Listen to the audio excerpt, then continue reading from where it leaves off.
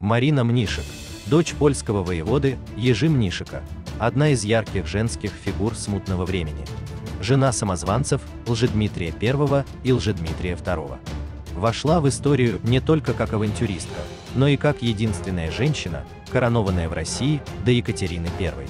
Согласно преданию, именно Мнишек принадлежит страшное проклятие Романовых, согласно которому ни один из Романовых не умрет своей смертью, и смерти эти будут продолжаться до тех пор, пока род не прекратит свое существование.